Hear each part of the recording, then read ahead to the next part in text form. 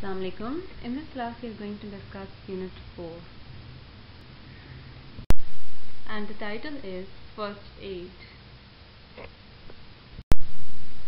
What is this lesson about? All the images and the title of this lesson suggest we are going to learn about first aid. But the question is, what do you understand by first aid? We all have heard of this term, but do we actually know what does it mean? It is immediate medical assistance that we provide to the victims to save their life. Those who are in danger, we provide them the first emergency treatment so that they are out of danger. Have you ever given first aid to anyone? You must have at least applied bandage to any fellow or somebody at home. This is also a form of first aid as the pictures shown in the slide also reflect how we provide first aid to those in emergency. We all need help at times in our lives. Sometimes we may have accidents and we may get hurt. But when we are injured or suddenly become unwell, we need someone to help us. Someone who knows what to do.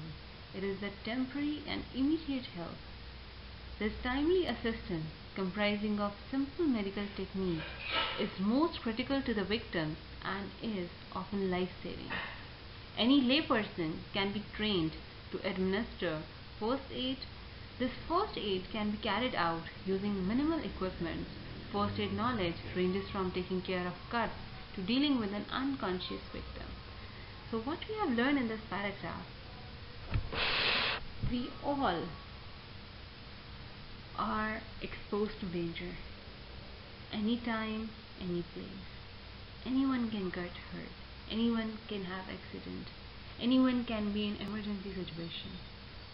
What we need at that time is we need a person, a person who knows what to do, who knows how to help you, who knows how to provide you the immediate medical assistance. The person should be aware of the first aid kit, the person should be aware of how to deal with the problem that you are in. So this timely assistance, which only comprise of some simple medical techniques, can often be life-saving. It can save you. It can save you from further danger. It can save your life. Any person can be trained to administer first aid. It is not uh, such a science that can that not everyone can learn but it is something so common that everyone should be aware of and everyone can do it. The first aid can be carried out using minimal equipment. You do not need so so many equipments or so many uh, surgical gadgets. You only need some minimal equipment that can be used to provide first aid to the patient. Aid knowledge ranges from taking care of cuts to dealing with an unconscious victim. The situation can be a simple cut or scrape or it can be a dangerous situation. Obviously you cannot treat the patient at all but you can provide the immediate assistance that can save the person from further harm. You may save the patient till the person goes to the hospital. You can stop further bleeding.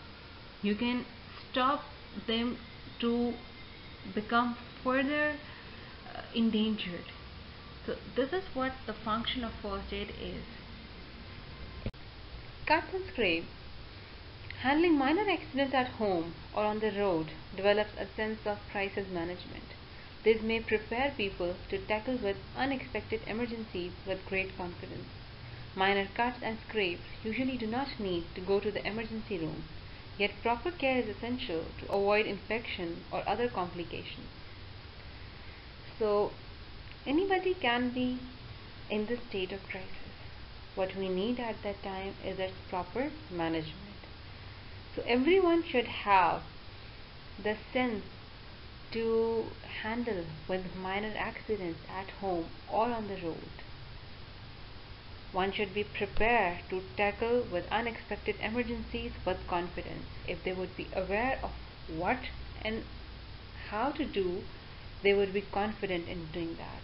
Minor cuts and scrapes usually do not need to go to the emergency room as it happens at your home, at any place where you work, that you might get minor cuts or sometimes your skin gets rubbed against a hard surface. There comes scrapes.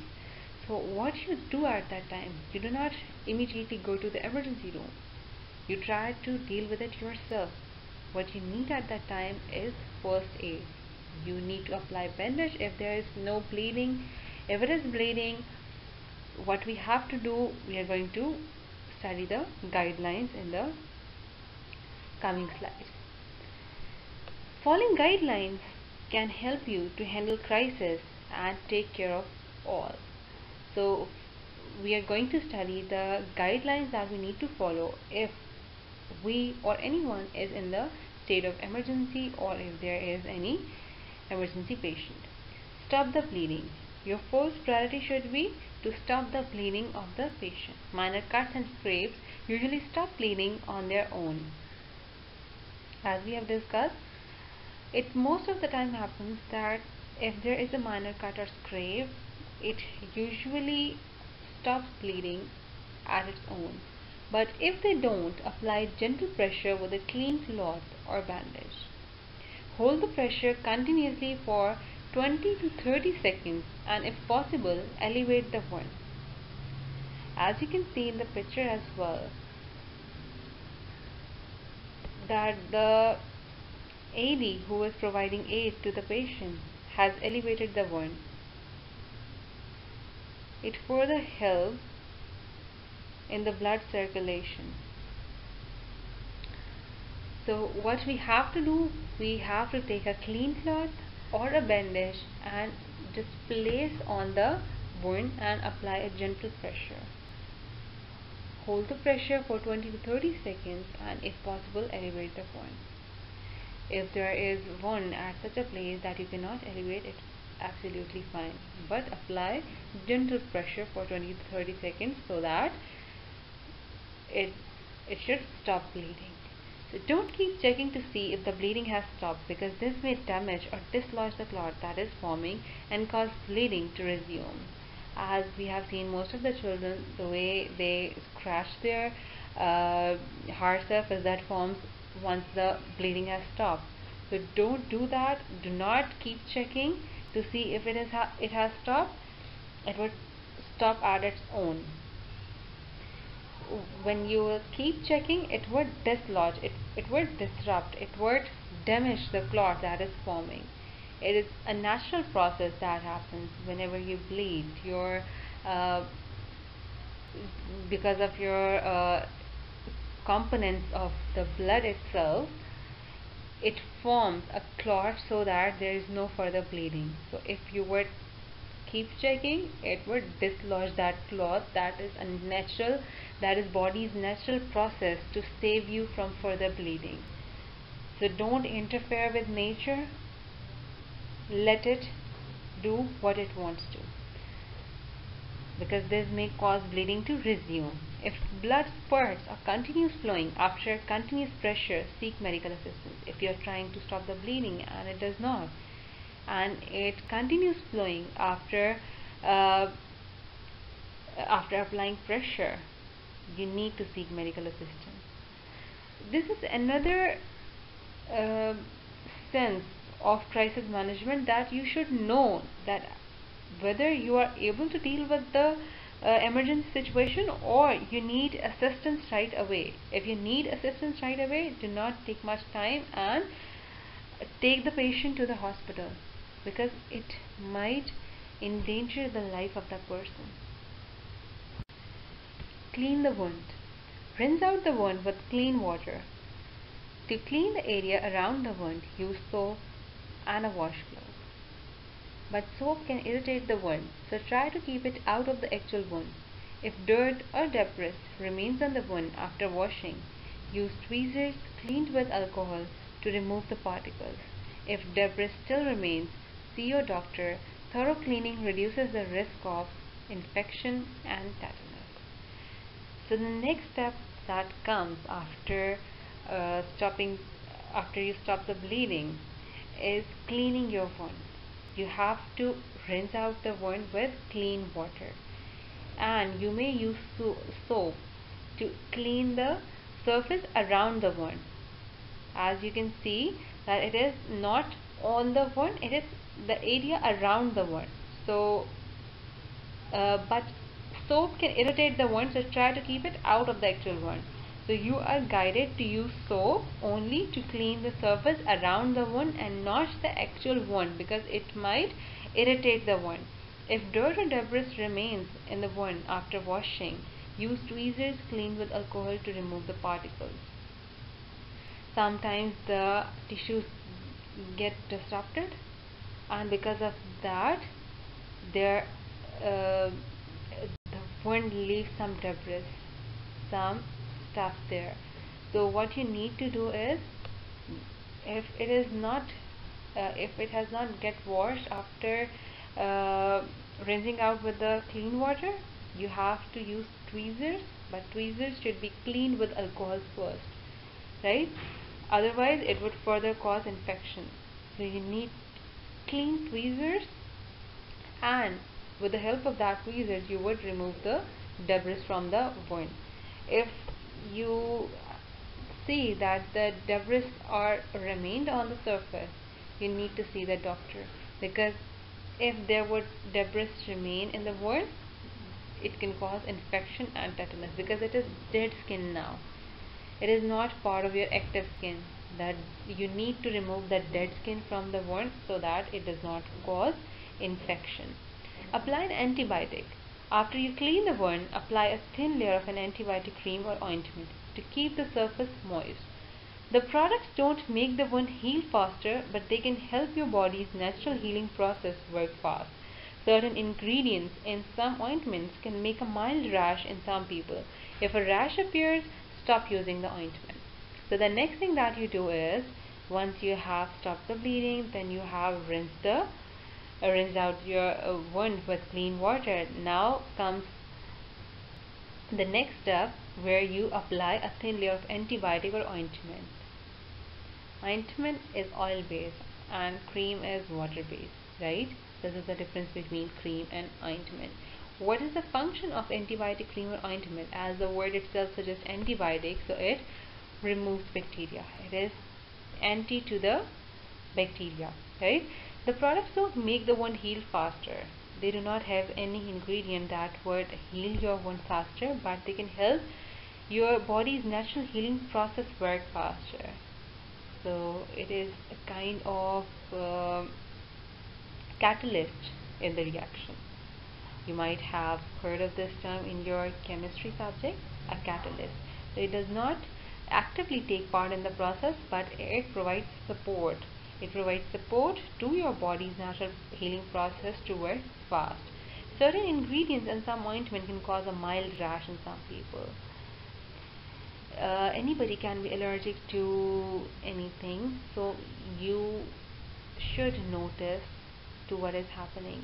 If there uh, comes a mild rash or even uh, a rash, what you have to do you have to stop using that ointment. You might have uh, heard your doctor asking you before prescribing you medicine that if you are allergic to this thing or this thing because it happens it's natural. Your body can be allergic to anything. So if your body is allergic to any uh, ingredient of one of uh, these antibiotic creams so you have to stop using this ointment Cover the wound. Bandages can help keep the wound clean and keep harmful bacteria out. After the wound has healed enough to make infection unlikely, exposure to the air will speed wound healing. So, the first step that you performed was to stop the bleeding. Once the bleeding has stopped, wash your wound. Once you have washed your wound, then you applied antibiotic or ointment. Now comes the time to cover your wound. Why do we cover the wound? Because it keeps the wound clean and it keeps the wound safe from the harmful bacteria because bacteria cannot reach inside. So once you uh, get to know that the wound has healed enough that it is now unlikely to get further infection now the fresh skin has come at least to some extent that it is not an open wound now. Now comes the time to expose your wound to the open air because it will speed up the healing process. Now your uh, wound needs to be healed in the open air. Change the dressing. Change the dressing at least daily or whenever it becomes wet or dirty.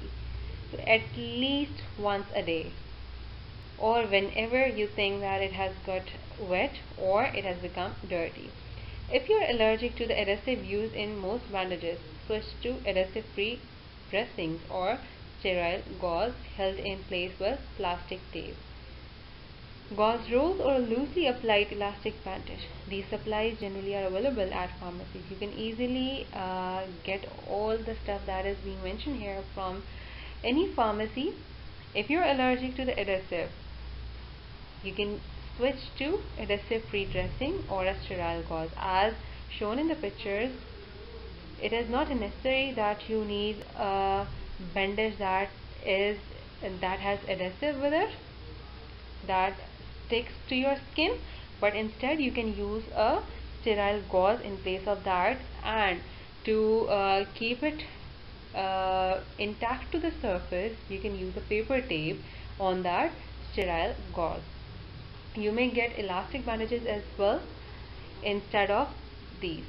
Watch for signs of infection. See your doctor if the wound is not healing or you notice any redness, increasing pain, drainage or worm. You need to watch for signs. If you have any wound, you need to uh, monitor it.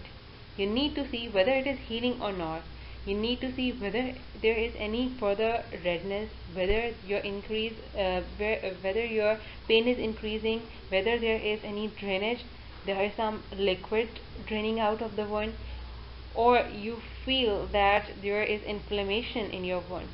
So you need to notice all these signs so that if you need to uh, seek medical assistance or you need to see your doctor you may on time Aid kit. Every office, factory, home and school should have an accessible first aid box with the following recommended basic contents. The first thing that should be included in the first aid box should be the first aid book that clearly explains how to handle basic problems. Those who are in emergency, if even they are not aware what to do in that situation, there should be a proper guideline written in the book so that they can follow that. Number two is band-aids or plasters. Band-aids or sticky plasters are good for dressing small wounds. They come in all shapes and sizes for fingers, legs and anywhere else you might get little cuts.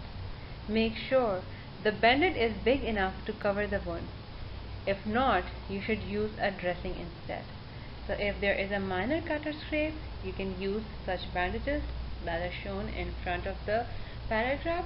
But if you believe that the wound is large enough that would not be covered with such uh, plasters or band-aids so you should uh, use dressing instead. You should cover your wound with a uh, with other uh, dressing materials. Elastic bandages. The elastic bandages are good for wrapping sprained joints or making a sling in case of the broken leg. You must have seen the such kind of elastic bandages as shown in the picture that are stretchable most of the time when you have pain in the knee mostly to cover the knee joint or to cover the ankle we use such uh, bandages because it keeps the uh, area warm which help relieve the pain and if there is a broken arm it would be helpful to give support to the arm gauze and adhesive tape gauze pads or rolls are cloth pads that are placed directly on a wound to protect and control bleeding for large cuts and scrapes you need uh, you will need adhesive tape to keep the gauze in place. In an emergency, a clean cloth, hand towel, clean t-shirt can be used to cover the wound. So there should be a gauze or an adhesive tape in the first aid box so that you can easily use it to stop the bleeding. As we have discussed it is the first step to provide the first aid that you should stop bleeding. You should place a clean cloth on the surface of the wound and uh, apply gentle pressure for 20 to 30 seconds. So for that you need a clean cloth or a gauze pad. So it should it should be uh, must be included in the first aid kit. Antiseptic wipes or alcohol swabs and cotton wool. As you can see in the picture as well the alcohol swab is shown. Why do we need alcohol swab? We place it on the surface of the wound to clean it because it uh, removes all the bacteria from the surface and around. So it would help to save the wound from further infection. Then we need safety pins and tweezers. We have already discussed why do we need tweezers. We need tweezers to remove the debris from the wound because the if the dead skin remains on the wound it might cause infection. So we need tweezers cleaned with alcohol so that it is not harmful for the wound then why do we need safety pins? We need safety pins to apply to the bandage. If there is no other uh, adhesive material available any tape or anything so we may use safety pin instead. Okay. scissors. A pair of scissors is needed to cut the tape and gauze. At the time of emergency we might are unable to uh, tear off the uh, tape or the gauze so for that we need scissors as well. Latex gloves. Latex gloves are always a good idea especially if you are dealing with body fluids from the stranger. It is not for the uh, safety of the patient or the victim but it is for the safety of the one who is providing aid to the victim. Because uh, when there is open wound you are dealing with the body fluids. There is blood of the patient that you are dealing with or the drainage that is coming from the wound. So it is better to use latex gloves so that your skin does not uh, get in touch with the patient. So there is no uh, danger of uh, any contamination or any uh, or getting any contaminated disease calamine lotion. Calamine lotion is used for soothing sunburns and stings. So you one should have calamine lotion or any such lotion that can uh, provide soothness to the sunburns or stings. Clinical thermometer. You need thermometer so that you can check the temperature of the patient. Analgesic tablets, any kind of painkillers should be there in the first aid box so that in uh, so that you can relieve the patient from the pain. First aid means responding to an emergency situation. Accidents happen, always unexpectedly. But a life can be saved by having a basic knowledge of what to do in emergency and knowing proper first aid procedures. Basic training in first aid skills should be taught in schools, in workplaces and in general, be learned by all of us, as it is mandatory to our modern and stressful life. So it is not only for the medical staff, but for everyone everyone should know how to deal with minor accidents because emergency situation can happen to anybody at any time. It can happen at your home. It can happen at your workplace. It can happen at your school. So one should be aware of the immediate assistance that you have to provide to the victim. And there should be an accessible first aid kit. The access should be to anyone. Anyone can approach that kit so that it can be used in the emergency situation. Because nobody is saved from emergency situation. It can happen to anyone. But timely and correct assistance can save one's life. So it is our social responsibility that we learn about it. We should know and we have to learn what to do in such situations. I hope you are by the end of this chapter you are aware what first aid is and how to provide first aid to the victim in emergency situation. Thank you.